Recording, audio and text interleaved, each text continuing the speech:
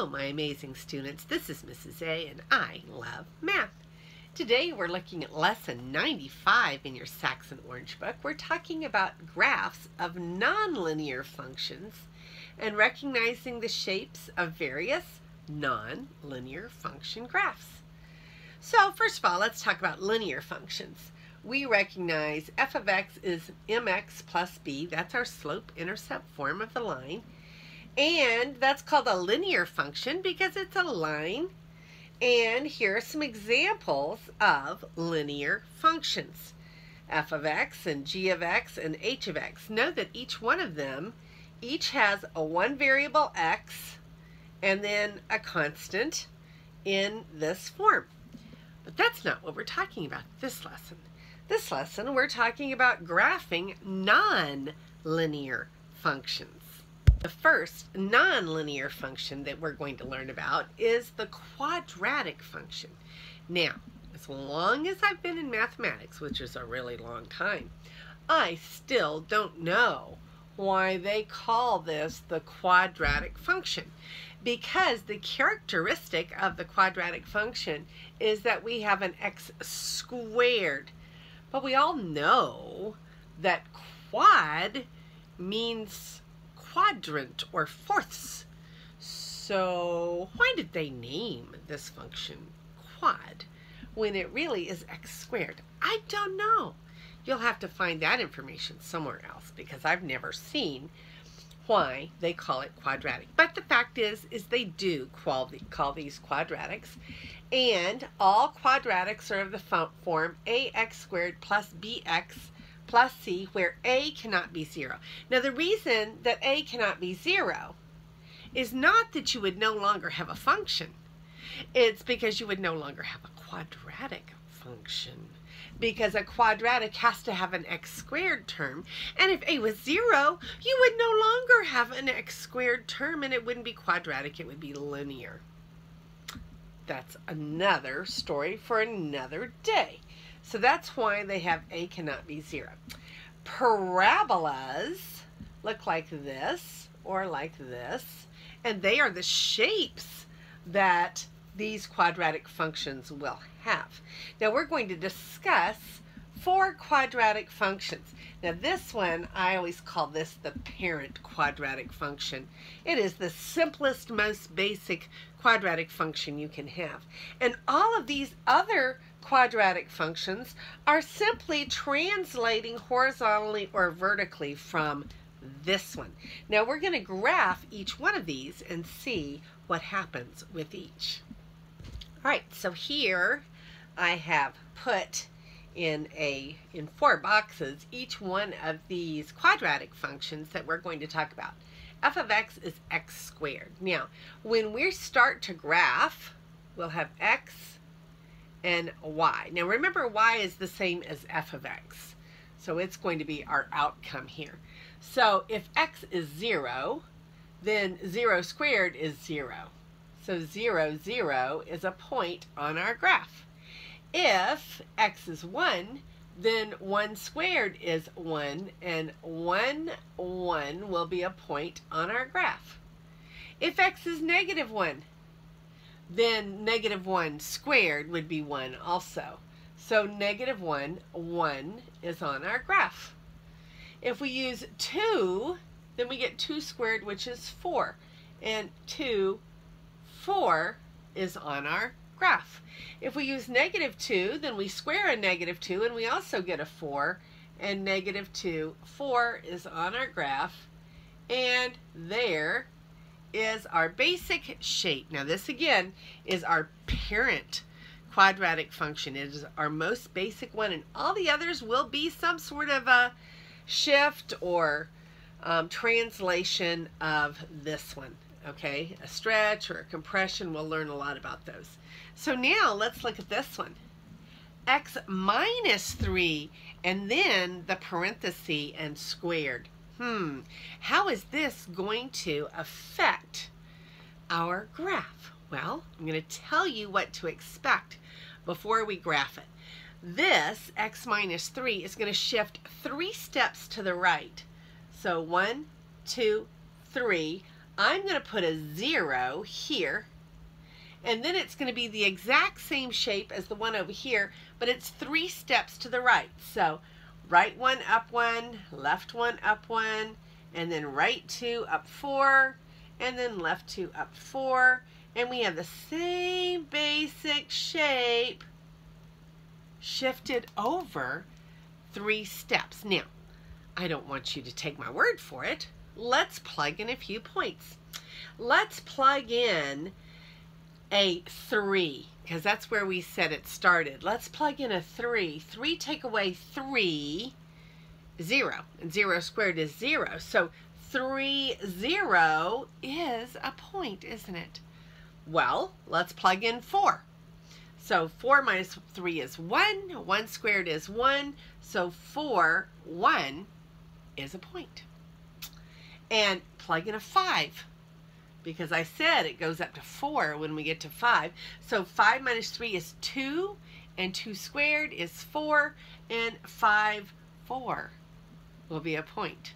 Okay, so you can check the other two points, but they're going to work because this parenthesis is saying that it's sliding over 3 to the right. Because what makes this go to 0 is 3. And the center of this whole graph will move to 3 now. All right, so now this one's a little different. It has x squared minus 3. There is no parenthesis. This 3 is going to drop the whole graph three steps down. So let's try it. One, two, three. So it was 0, 0, but now it's going to be negative um, 0, negative 3, and over 1 up 1 and then over 2 up 4 and then left 1 up 1 and then left 2 up 4 just the same shape. All right? So this one should be this one drop down three steps. Now let's plug in a few points. If we plug in 0 0 squared is 0. Minus 3 is negative 3. So 0, negative 3 is a point. If we plug in 1, then we're going to get 1 minus 3 is negative 2. And 1, negative 2 is a point. So we can see that this whole graph is this graph shifted down three steps. So now this one is interesting because that negative is the only thing that's different between an x squared and a negative x squared and that is going to be a flipped over graph. It's going to simply, instead of starting here and going up, it's going to start here and go down. It's going to be upside down. All right, now let's check a few points. If I plug in 0 for my x, then 0 squared is 0, and negative 0 is still 0. But if I plug in a 1, then 1 squared is 1, and a negative 1 is a negative 1. If I plug in a 2, then 2 squared is 4, but a negative 4. Ah, so 0, 0, 1, negative 1, 2, negative 4. And you can see it's the same as this graph, except that it's going upside down. It's a frowny face. This is a smiley face. This is a frowny face. So when we look at all of our quadratics, we have our parent quadratic, y is equal to x squared. We have one that was slid 3 to the right because in the parenthesis, we had an x minus 3. And then this one was slid three steps down because there was a minus 3 outside. And then this one was flipped over and became a frowny face. Now, this is our general rule. If we have a parenthesis and our function, which is our x, is inside the parenthesis, if it happens inside, it's going to move it left or right. If it happens outside, we have a minus 3 without a parenthesis. It happens outside the function because my x squared is the function here It happens outside my function, it's going to move it up or down. And that is a good rule of thumb for all functions. If it happens inside the function, it's going to move it left or right. If it happens outside the function, it's going to move it up or down. All right, so here we have um, cubic functions. Right, so cubic functions are of the form f of x equals ax cubed plus bx squared plus cx plus d, where a cannot be 0. Now, a can't be 0 because then my x cubed term would leave and it would not be cubic anymore. So here we go with our parent cubic function. f of x is x cubed. It is as simple as we can get it. So let's think about how does this cubic function act? All right, so I'm going to draw a little graph and I'm going to plug in a few little points. X, Y. If X is 0, 0 cubed is still 0. So 0, 0 is a point. If X is 1, then 1 cubed is 1. So 1, 1 is a point. If X is 2, then 2 cubed is 8 and 2, 8, wow, it's way up there, is a point. And our graph does this. Now, what does it do after that? If I plug in a negative 1, then negative 1 cubed is negative 1 times negative 1 times negative 1, which is negative 1. So negative 1, negative 1 is a point. Negative 2, negative 8 is a point. And this graph is our basic cubic function, our parent function for the cubics. Now, now that we know what that one looks like, that's our parent. Remember what I just said with quadratics.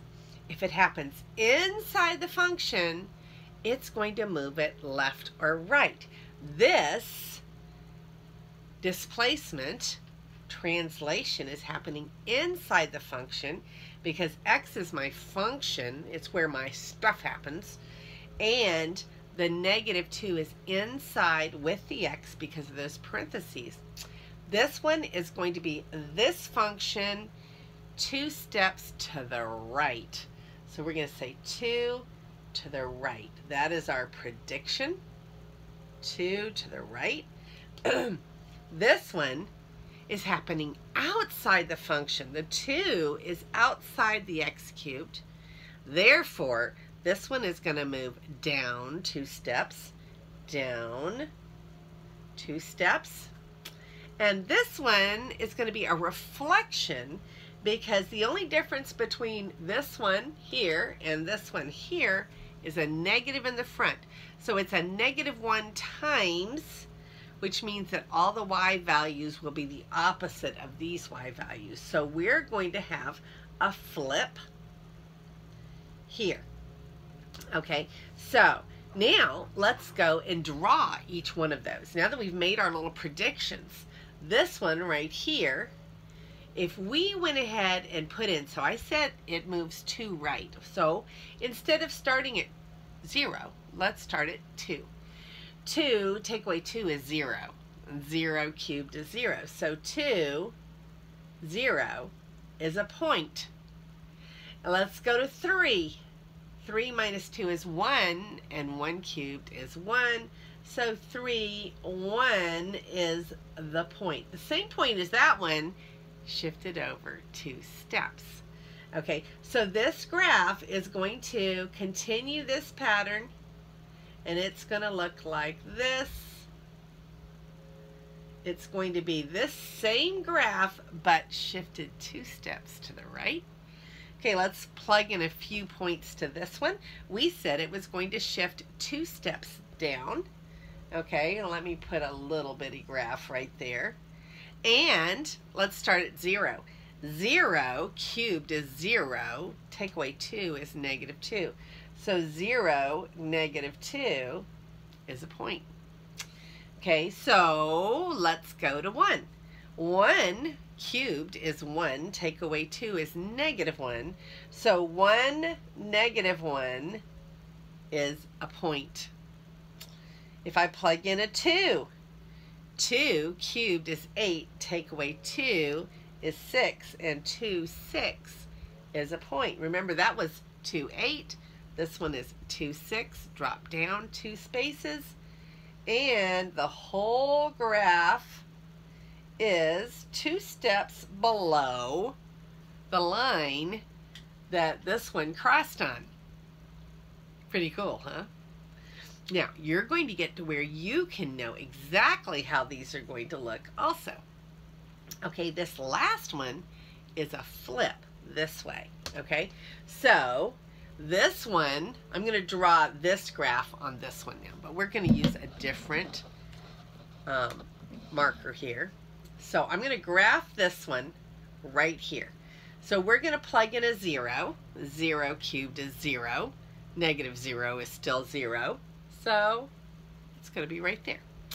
And then if I plug in a 1, I'm going to get 1 cubed is 1, but then a negative 1 is negative 1. So 1 negative 1, 1 negative 1. 2, we plug in a 2, and we're going to get 2 cubed is 8. And then negative in front of 8 is negative 8. So 2, negative 8. This graph is going to go like that. It flips. Now, you can see that if I take this and I flip it down, it goes here. If I take this one and flip it up, it goes up there. It's a flip. So now we're doing a function called the square root function.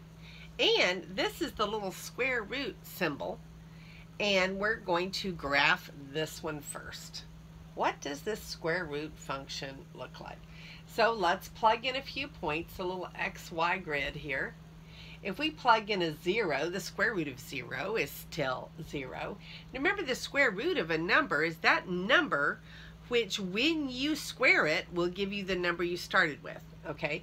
So 0, 0 is part of this function graph. So now I'm going to plug in a 1, and the square root of 1 is still 1. So 1, 1 is part of this function graph. Now I'm going to be easy on myself because I'm basically a little bit lazy and I like to do things the easy way, don't you sometimes, if you can? I'm going to choose a friendly number. I'm going to choose a number that's already a perfect square. I'm going to choose 4 because taking the square root of 4 is easy. That's 2. So 4, 2, 1, 2, 3, 4, 2 is a point on my graph. Now I could keep on going and keep on graphing, but I have four others that I want to graph on here too. So if I threw in a 9, 9, 3 would be on the graph. If I threw in a 25, 25, 5 would be on the graph. So this thing keeps on going way, way, way, way, way, way, way, way, out to the right. okay, so if that is the way that our square root function goes, it doesn't do anything over here. Let's check. If I take a negative 1, well, the square root of a negative 1? Hmm, is there a number that when squared gives me negative 1? Not a real number. So we'd say, no, there's nothing over here. It's empty space. It only goes off in one direction. That's what a square root function does. All right, so now look at this. This x plus 2, this plus 2 is happening inside the function because this is the square root function. And all of the action happens in the square root sign. So the square root, the x plus 2 happens inside the function. Therefore, that plus 2 is going to move it left or right. It's going to move it two steps left. Okay, so I'm going to say 2 left. That's my prediction. Okay, now let's check my prediction. Here's our little grid. Okay, so I'm going to start two steps to the left because that's where I think we're going to go. We're going to start at negative 2. And at negative 2, I plug in a negative 2. Negative 2 plus 2 is 0. and the square root of 0 is 0. So negative 2, 0 is a point. Now, I can't go to the left of negative 2 because remember over here was empty space and we've moved this two steps to the left. So this should go just like this, but nothing over here. Let's check. Let's plug in a negative 3. Negative 3 plus 2 is negative 1 and the square root of negative 1, uh-oh, we can't take the square root of negative numbers in the real number system. So this is the graph. Now let's just plug in one more to check. Okay, so let's plug in, and that was a negative 2. Let's plug in a negative 1. Negative 1 plus 2 is 1, and the square root of 1 is 1. So there it is. And let's plug in four steps to the right of negative 2. Because see, we used a 4 over here. Let's just take negative 2 plus 4. That's 2. 2 plus 2 is 4. The square root of 4 is 2. So 1, 2, up 2 is a point. Pretty cool to be able to predict it like that, huh? All right, so now this one down here, it has got a plus 2. It's in the front. That doesn't really matter, though. So we have the square root over here, but we have plus 2. Okay, so since it happens outside the function, it's going to move it up or down. Since it's positive, it's going to move it up. So this is going to be two steps up. So let's check. Does this move the graph two steps up? All right, so let's plug in a zero. If we plug in a zero, we get the square root of zero is zero, plus two is two, so zero, two.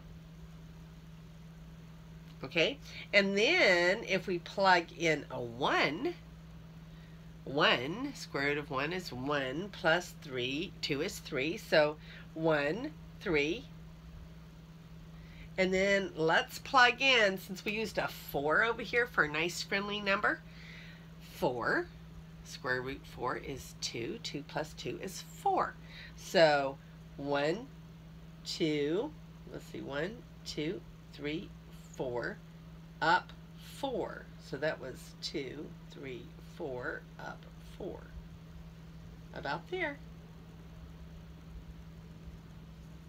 So it's the same graph as this one, moved two steps up. And then lastly, now let's think back to the last two things we did. We did quadratics and we did cubics.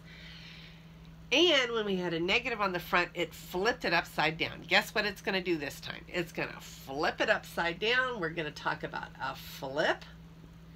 So let's just draw the flip. We started this way. So if we flipped it down, shouldn't it go like that? And that's exactly what it does. Let's try it. If we plug in a zero, we get a zero. Square root of zero is zero, and then a negative zero is still zero. If we plug in a one, we get a square root of one is one, and then the opposite of one is negative one, so one, negative one. And we plug in our friendly four we get 2. But then the opposite of 2 is negative 2, so 4, negative 2. And it looks just like we thought it would. It's just flipped. All right, so here we have the absolute value functions. And guess what? They're going to do the same things as far as the translations to the functions. This is our absolute value function. And these two little lines here mean that we're going to take the positive of whatever is inside. So here, we'll make a little grid. And we're going to plug in 0. And the positive of 0 is 0. So 0, 0 is on the graph. Now, absolute value really can be interpreted as the distance from a number to 0. Okay, so if we plug in a 1, then the distance from 1 to 0 is still 1. And so 1, 1. If we plug in a negative 1, the distance from negative 1 to 0 is still 1. So we would get a positive there. And if we plug in a 2, the distance from 2 to 0 is 2 steps. If we plug in a negative 2, the distance from negative 2 to 0 is 2 steps. So our absolute value functions will always look like a V shape. Like that. Okay, a V shape. So, um, this one is our parent function for the absolute value.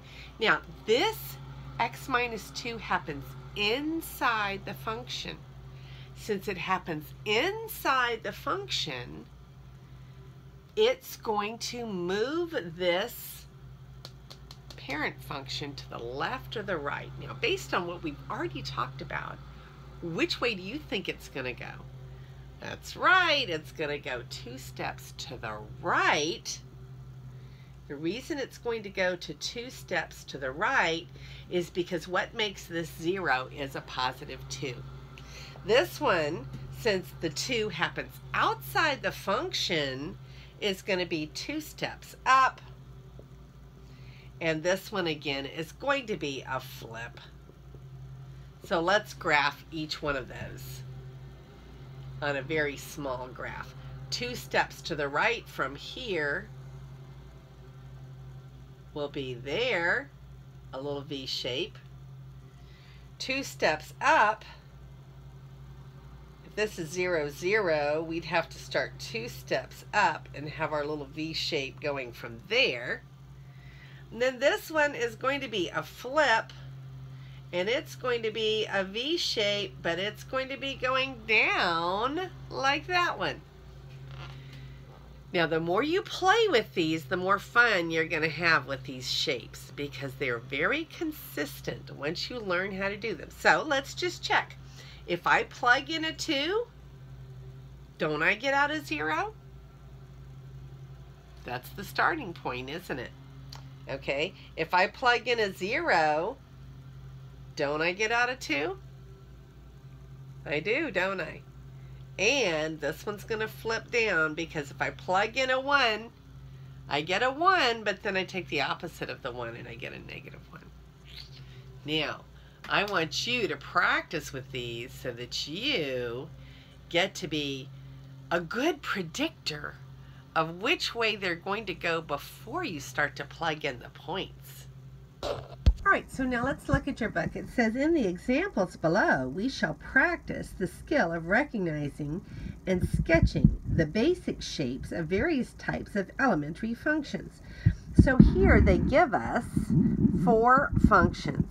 It says the graph of a quadratic function could resemble which of the following graphs? Now there's some of these things that you have not had yet. So, but you have had the quadratic function. Remember, quadratics are parabolas and they look like horseshoes, either faced up or down. So the answer is this one. It is a horseshoe facing down. The only graph depicted in B looks like the one of the graphs shown as in the example of the graph of the quadratic function. Okay, so it is b and only b. Now this is your linear function. This looks like a cubic function.